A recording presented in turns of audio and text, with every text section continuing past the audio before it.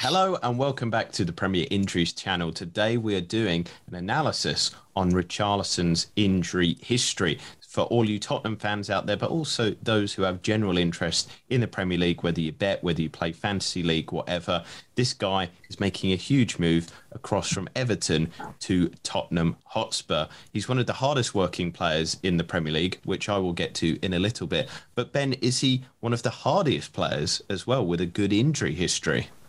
Yeah, in Richarlison, we're talking about a fairly robust player. You know, since his arrival from Brazil in the Premier League, you know, his availability in terms of the Premier League appearances, it's in the high 90s. First season at Watford, available 100% of the time, featured in all 38 of their league games. And that uh, robustness, that re- availability, you know, that carried on through his career at Everton.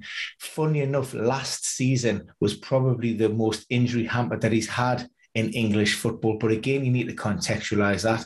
We've talked about many times before the pandemic, the short pre seasons, but then also his involvement for Brazil in the summer uh, with the Olympics, and uh, I think it was Copa America as well. And then also, you know, he didn't have the reliance of that Dominic Calvert Lewin in that Everton squad. So maybe Richarlison was maybe overworked a little bit and was forced to play when ideally, you know, ideally, you know, Rafa Benitez or Frank Lampard may would have preferred to put him on the bench. He's picked up his two most significant injuries during this period. One of those being in and around Christmas, which was a calf problem. Now, thankfully, due to COVID, the shutdown and those games postponed. He only actually missed one game. But in terms of his return to play, that was 30 sort of plus days. And there was also a knee injury in there as well that resulted in missing four Premier League games. But like I say, generally, we have a player who is pretty hardy, takes a lot of kicks, a lot of knocks, but seems to brush them off, you know, and gets himself ready for the next game.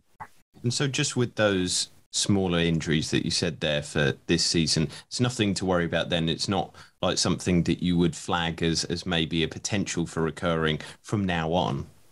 Yeah, absolutely not. I mean, if we had another disrupted spell in this upcoming campaign, you know, that may ring alarm bells. There may be a red flag there, but certainly in terms of you know where we were last season and what we've seen since his arrival in the Premier League, uh, I would have no concerns at this moment time. He's a guy who plays a lot of football, starts a lot of games, and plays a lot of minutes, and ultimately, you know, takes a lot of kicks. And I guess uh, maybe a question to you, knowing the type of manager that Conte is, do you think that maybe he can come on even more. You know, you've said there he's quite hardy, he's quite ability to kind of ride these tackles and more. But do you think that maybe he might even find an, an extra athletic peak there because Conte not only trains his players hard, but he controls every aspect of their lives, their diet, all these sorts of things. He, he's a perfectionist, isn't he? I, absolutely. And I mean, any player can, you know, if you of thrive under a manager like Antonio Conte, then you're probably in the wrong sport.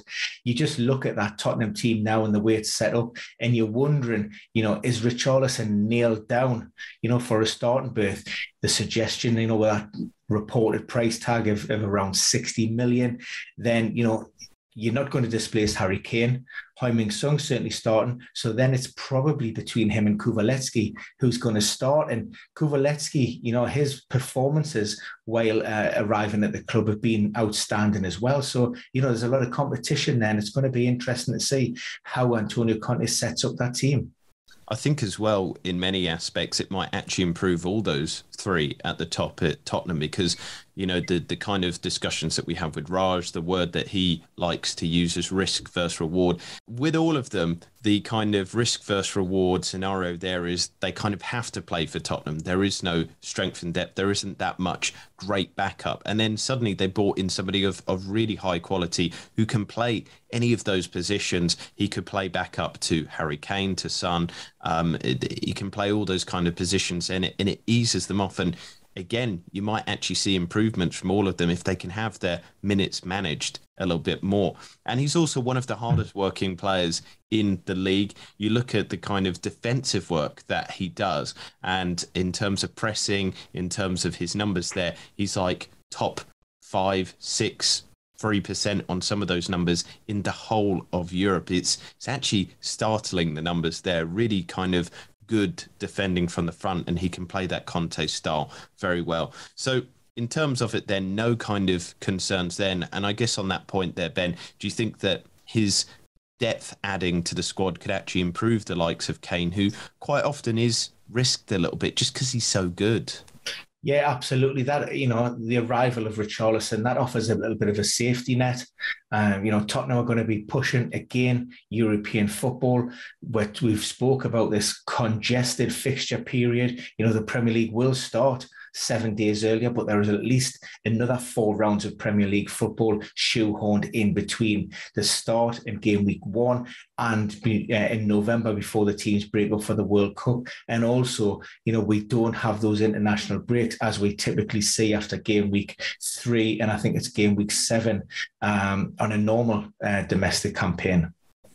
Well, that is the insight into Richarlison then to appease or to, to allay any of Tottenham fans' concerns and maybe to give concerns to the rest of the Premier League because the team is strengthened with a very hardy player there. But as always, if you want to strengthen your arsenal of information, do subscribe to the channel because we always have no rumour, no misinformation. We just give you the straight facts and analysis. But for now, we're going to wish you the best of luck, the best of health, and we will see you again with another analysis very, very soon.